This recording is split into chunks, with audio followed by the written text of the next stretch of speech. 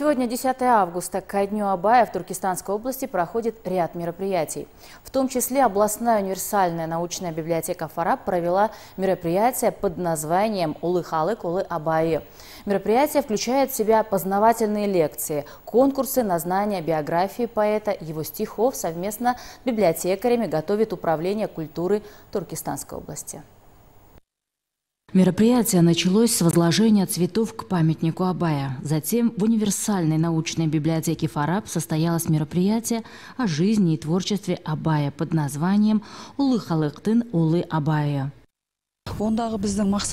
День Абая – очередная возможность напомнить старшим и рассказать молодому поколению наследие нашего великого земляка. Знать Абая очень важно.